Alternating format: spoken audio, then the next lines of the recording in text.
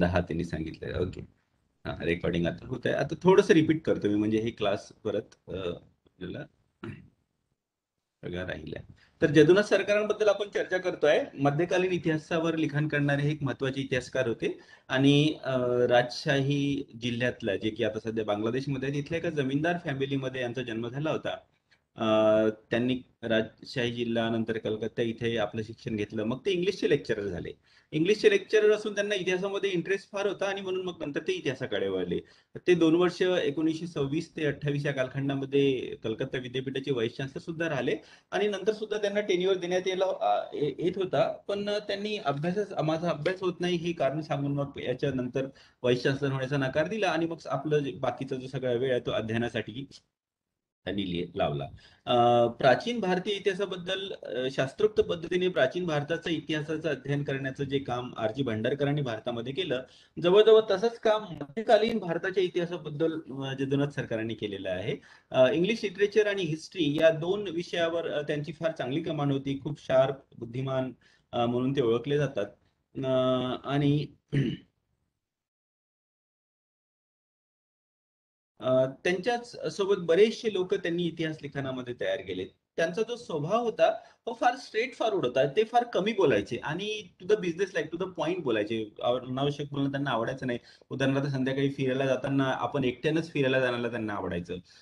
ते मनन चिंतन त्यांचं सतत सुरू राहायचं. आणि त्यांचे जे एक विद्यार्थी होते ते सांगतात की मी जेव्हा त्यांच्याकडे गेलो आणि मला त्यांना सांगितलं की मला मध्यकालीन इतिहासाबद्दल अध्ययन करायचं आहे रिसर्च करायचं तर त्यांनी मला दारातूनच थोडस दार उघडलं आणि सगळ्यात पहिला प्रश्न विचारला तुम्हाला पारसी पारसी येते का? कारण मध्यकाळातलं रिसर्च करायचं म्हणजे तुम्हाला ज्या भाषेमध्ये मध्यकालाची साधने आहेत ती भाषा तुम्हाला यायला पाहिजे. आणि जेव्हा त्या विद्यार्थ्यांनी सांगितलं की मला पारसी येत नाही तर त्यांनी ते दार सरळ लावून टाकलं. आणि त्याच्यामुळे मग नंतर दोन वर्षानंतर तो विद्यार्थी जेव्हा फारसी शिकून परत गेला तेव्हा कुठे त्यांनी त्याला घरामध्ये घेतलं. आणि तसंच ते ज्या जो विद्यार्थी त्यांना चांगले अभ्यास करणारे वाटायचे त्यांना ते आपल्या घरी ठेवायचे फ्री ऑफ कॉस्ट त्यांना आपली लायब्ररी उपलब्ध करून द्यायचे. पण त्यांचा स्वभाव फार कमी बोलणारा आणि फार डायरेक्ट बोलणारा असायचा. ते विद्यार्थ्यांना विद्यार्थ्यांसोबत काय कोणाशीच जास्त बोलायचे नाही. पण जी एस सरदेसाई हे जे मराठ्यांचे इतिहासकार होते त्यांच्याशी मात्र त्यांची चांगली मैत्री झाली. कारण जो जदुनाथ सरकारांचा मुख्य जो अध्ययनाचा विषय होता तो होता मध्यकालीन इंडिया. त्यांनी मुघलांच्या इतिहासावर औरंगजेबावर पुस्तकं लिहिली आणि मुघलांच्या इतिहासावर अध्ययन करताना त्यांच्या लक्षात आलं की मुघलांच्या इतिहासावर बरीचशी साधनं जी आहेत ती मराठीमध्ये मिळतात. आपण मराठी त्यांना येत नसल्यामुळे मग त्यांनी जी एस सरदेसाईशी पत्रव्यवहार सुरू केला आणि मग त्या पत्रव्यवहारातूनच त्यांची मैत्री झाली. हे जी एस सरदेसाईचं मराठी रियासत त्यांनी लिहिली. त्याच्यापैकी हा एक खंड आहे. आणि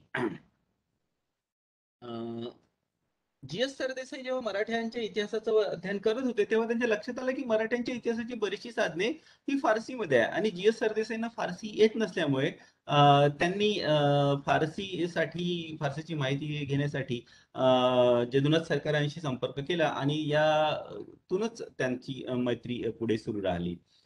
जदुनाथ सरकारांना मुघलांच्या इतिहासावर अध्ययन करता करता मराठीकडे ते वळले आणि मग मराठ्यांच्या इतिहासात त्यांना इंटरेस्ट यायला लागला. आणि त्या इंटरेस्ट मधूनच त्यांनी ही मराठ्यांच्या इतिहासावरची पुस्तकं लिहिली.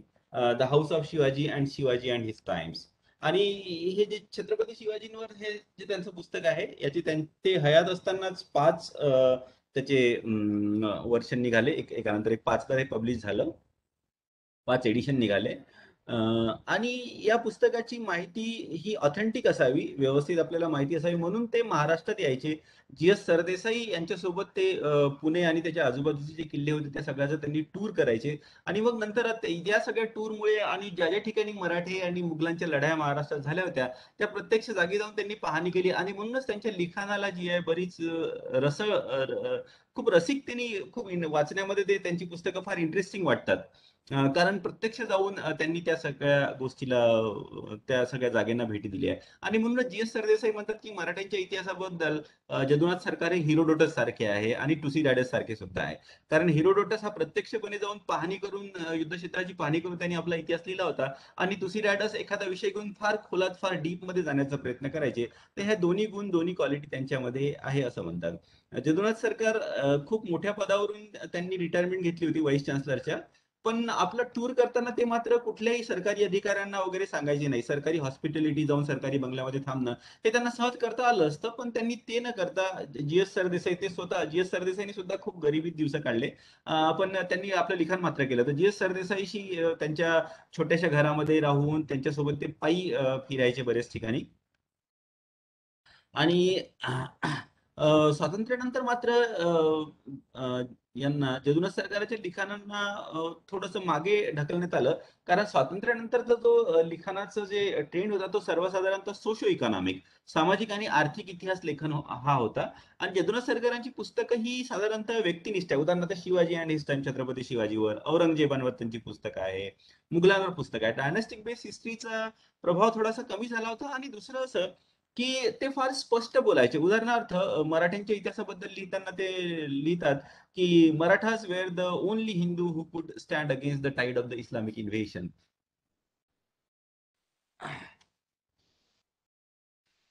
तर अशी जी वाक्य असतात की इतिहासामध्ये हा मध्यकालीन संघर्ष हिंदू आणि मुसलमानांचा सुद्धा संघर्ष होता असं त्यांचं म्हणणं होतं. आणि असे वाक्य सर्वसाधारणतः बऱ्याचशा लोकांना पटायचे नाही.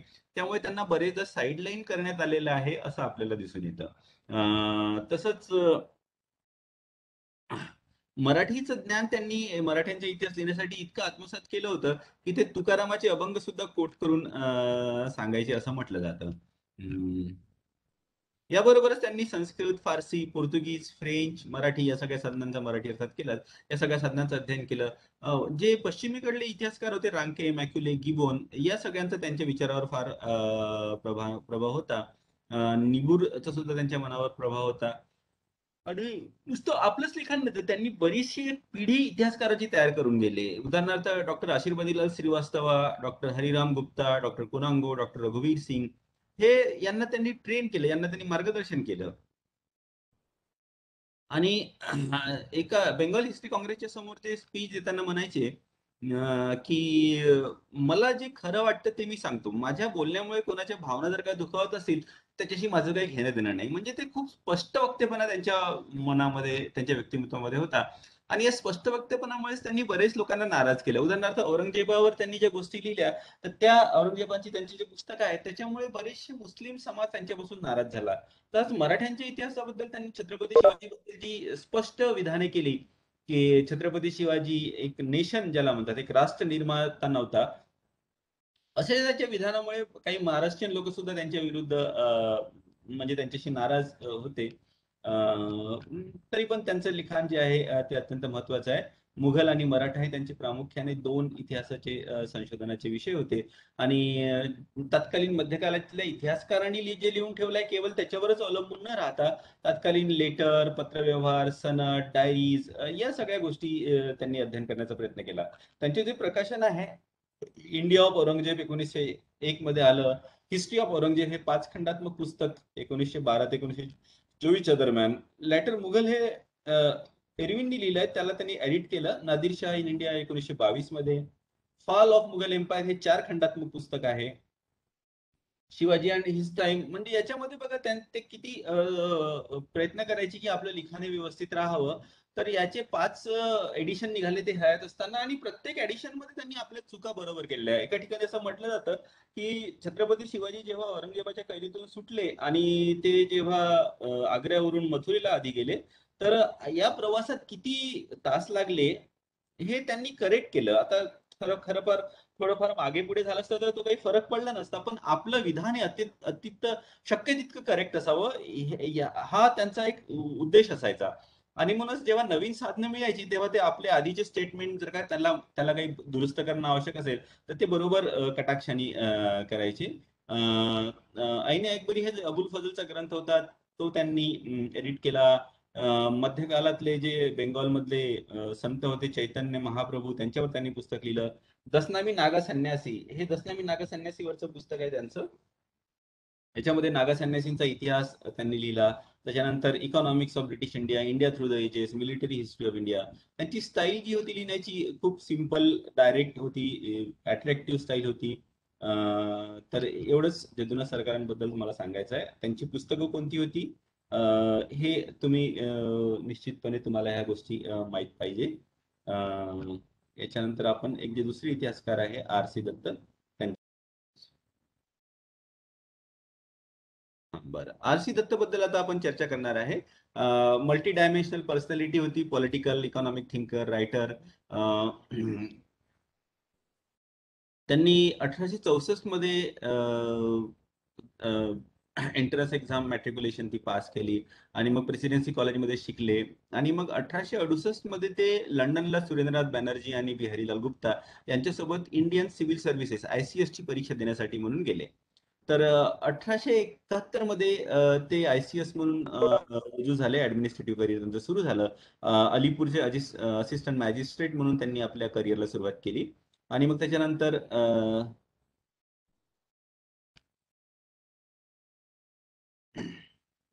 नदिया नंतर काम केलं आणि मग नंतर डिव्हिजनल कमिशनर ऑफ ओरिसा म्हणून त्यांची नियुक्ती करण्यात आली. या इतक्या उच्च पदावर पोहोचणारे हे पहिलेच भारतीय व्यक्ती होते पण नंतर त्यांनी मग आपल्या पदापासून रिझाईन केलं राजीनामा दिला. कारण त्यांना असं लक्षात आलं की इथे युरोपीय लोक आणि भारतीय लोक यांच्यामध्ये इंडियन सिव्हिल सर्व्हिसेसमध्ये फार मोठा भेदभाव करण्यात येतो. आणि मग आता इथून रिझाईन करून आपण आपलं पूर्ण आयुष्य जे आहे याच्या पुढचं ते लिखाण कामामध्ये तसंच राजनैतिक ऍक्टिव्हिटीजमध्ये घालवावं असं त्यांना वाटलं.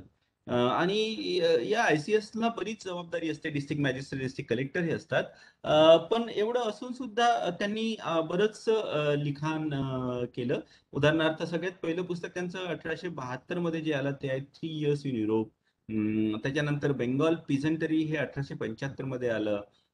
आणि याच्यामध्ये रायत जे गरीब लोक असतात त्यांचं कसं काम असतं याच्याबद्दल त्यांनी चर्चा केली आहे. त्याच्यानंतर हिस्ट्री ऑफ बेंगॉली लिटरेचर त्यांनी प्रकाशित केलं. बंकिमचंद्र चट्टोपाध्याय त्यांच्या वडिलांचे मित्र होते. त्यांच्याशी ओळखी झाल्यानंतर त्यांनी नॉवेल्स लिहि सुद्धा लिहिले जसं Banga Vijeta conquer of Bengal Madhavi Kankan Rajput Jivan Sandhya Maharashtra Prabhat ही पुस्तकं त्यांनी लिहिली. आणि पहिल्या जे दोन पुस्तकं आहे बंगविजेता माधविकांकन हे अकबरने जेव्हा बेंगॉलला जिंकलं त्याबद्दल आहे. तसंच जे राजपूत जीवनसंध्या हे राणा प्रतापचा जो स्ट्रगल होता महाराणा प्रतापचा अकबराविरुद्धचा त्याच्याबद्दलची माहिती माहिती देते. आणि महाराष्ट्र प्रभात हा हे जे आहे ते मराठ्यांचं जे संघटन सुरू झालं छत्रपती शिवाजीच्या नेतृत्वाखाली त्याच्याबद्दल चर्चा करते. त्या व्यतिरिक्त त्यांनी दोन सामाजिक नावे लिहिली समाज आणि संसार. तर समाजमध्ये विधवांचा पुनर्विवाह करण्यात यावा याबद्दल असे त्यांचे विचार दिसतात. आणि जो संसार आहे तो इंटरकास्ट मॅरेज आंतरजाती विवाह व्हावा. म्हणजे आपल्या तत्कालीन काळाच्या विचारसरणीच्या मानाने ती बरेच पुढे होते. त्यानंतर जे त्यांचं इम्पॉर्टंट वर्क आहे ते आहे ऋग्वेदाचं ट्रान्सलेशन जे त्यांनी बेंगॉलीमध्ये केलं. रामायण महाभारत सुद्धा त्यांनी इंग्लिश वर्सेस मध्ये ट्रान्सलेट केलं. आणि त्याच्यापूर्वी सुद्धा लेज ऑफ एन्सियन इंडिया हे ते पुस्तक त्यांनी प्रकाशित केलं होतं. History of civilization in ancient India हे सुद्धा त्यांचं पुस्तक आहे. त्याच्यानंतर त्यांनी भारतावर इंग्लंडच्या अधिपत्याचे काय आर्थिक परिणाम झाले याच्याबद्दल लिहायला सुरुवात केली. आणि अठराशे सत्त्याण्णवमध्ये इंग्लंड आणि इंडिया हे पुस्तक त्यांनी लिहिलं. मग एकोणीसशे मध्ये फॅमिन्स इन इंडिया हे पुस्तक त्यांनी लिहिलं. त्याच्यानंतर two volume economic history of India हे जे दोन खंडात्मक पुस्तक आहे हे सगळ्यात महत्वाचं आहे. आणि मग हेच भारतातला जो ब्रिटिशांचा जो रूल होता त्याच्यामध्ये कसं आर्थिक शोषण कशा पद्धतीने होत गेले याच्यावर ते चर्चा करतात.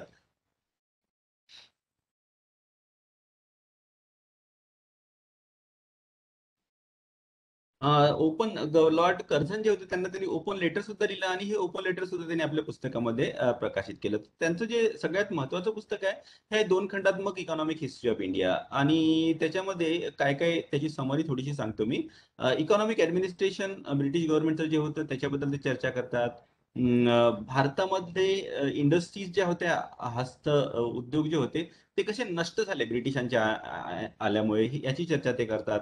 इंडस्ट्रीयल आणि ऍग्रिकल्चर डेव्हलपमेंट याच्याकडे कसं दुर्लक्ष करण्यात आलं? रिव्हेन्यू कसा आहे? खूप जास्त ब्रिटिश लावायचे.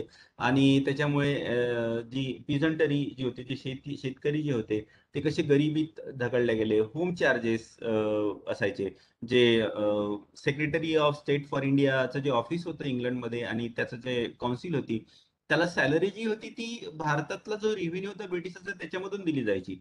फॅमिन इथे जे फॅमिन यायचे ते कसे कशामुळे यायचे? अर्थात तत्कालीन काळामध्ये जे ड्रेन थिअरी भारताचं कसं आर्थिक शोषण केलं जातं याच्याबद्दल बरंचसं लिखाण केलं गेलंय दादाभाई नवरोजींनी सुद्धा केलंय. आणि या सगळ्या लिखाणाव्यतिरिक्त आता ते आय सी एस मधून त्यांनी रिझाईन केल्यानंतर ते राजनीतीमध्ये सुद्धा सक्रिय झाले. मॉडरेट जे होते दादाभाई नौरोजी सुरेंद्रनाथ बॅनर्जी यांच्यासोबत ते राहायचे आणि मग ज्या पद्धतीने मॉडरेटचे विचार असायचे की ब्रिटिशां आर्थिक शोषण जरूर केलेलं आहे. तरी ब्रिटिशांचं शासन हे भारतीय लोकांसाठी चांगलं आहे एकंदरीत. या विचारसरणीचे ते होते. म्हणून त्यांना म्हटलं जातं की पॉलिटिक्समध्ये ते मॉडरेट होते आणि इकॉनॉमिक विचारामध्ये ते एक्स्ट्रीमिस्ट होते. ब्रिटिशांच्या आर्थिक नीतींवर त्यांनी फार टीका केलेली आपल्याला दिसून येते. आणि त्यांच्या या राजनीतिक कार्यामुळेच अठराशे नव्याण्णवमध्ये जे लखनौला जे सेशन झालं होतं काँग्रेसचं काँग्रेसचं अधिवेशन त्या काँग्रेसच्या अधिवेशनाचे अध्यक्ष म्हणून त्यांना निवडण्यात आलं होतं. अं, त्यानंतर एकोणीसशे चारमध्ये ते बरोडा स्टेटचे बरोडाचं जे प्रिन्सली स्टेट होतं त्याच्यामध्ये रेव्हेन्यू मिनिस्टर होते. मग त्यांनी तिथून रिझाईन केलं रिझाईन केलं आणि सरकारमधून त्यांनी आयसीएस मधून जरी रिझाईन केलं तरी त्यांना सरकार ब्रिटिश सरकारने काही कामासाठी उदाहरणार्थ डिसेंट्रलायझेशन कमिशन एक बनवलं होतं. त्याच्यामध्ये त्यांना बोलावलं गेलं होतं. त्याच्यानंतर एकोणीसशे नऊ मध्ये त्यांना मग त्याच्यानंतर दिवाण म्हणून त्यांना बरोडा सरकारने आपल्या नोकरीमध्ये ठेवलं. बडोद्याच्या राजांनी पण एकोणीसशे नऊ मध्ये मग त्यांचा मृत्यू झाला. तर आसी दत्तची पुस्तकं कोणकोणती आहेत? त्याच्यापैकी इकॉनॉमिक हिस्ट्री ऑफ इंडिया हे दोन खंडात्मक पुस्तक हे अत्यंत महत्वाचं आहे तुम्ही लक्षात ठेवायला पाहिजे. त्या व्यतिरिक्त त्यांची जी नॉवेल आहे बंग विजेता माधवी कंकण साधारणतः एमसीक्यू मध्ये या प्रकारचे प्रश्न जास्त विचारले जातात. आयसीएस ते केव्हा झाले? आयसीएस परीक्षा देण्यासाठी त्यांच्यासोबत कोण गेलं होतं? सुरेंद्रनाथ बॅनर्जी. ते सुद्धा मग नंतर काँग्रेसचे एक मोठे नेते झाले. तर ही सगळी गोष्ट तुम्हाला अशा पद्धतीचे प्रश्न तुम्हाला विचारल्या जा- जातील. तर जदुनाथ सरकार आणि आर सी दत्त यांच्याबद्दल सांगून झालंय. आता